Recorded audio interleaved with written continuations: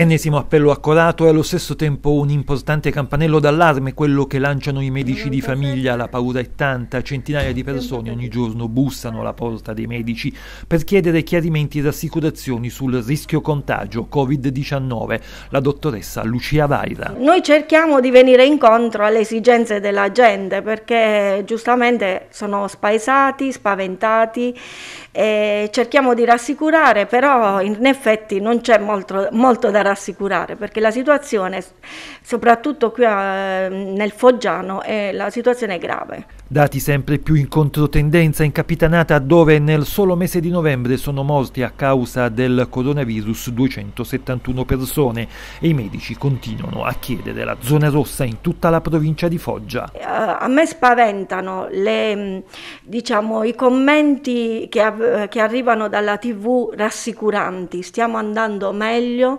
vedremo di allentare.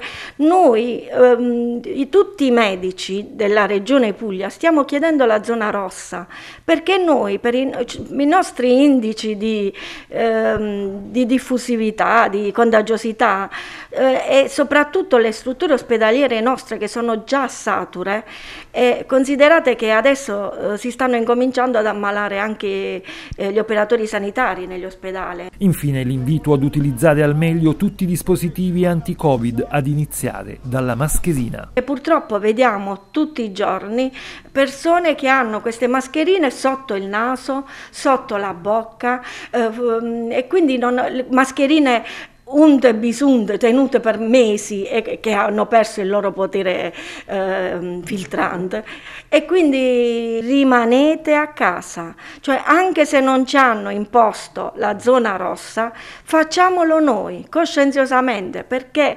eh, la situazione è drammatica.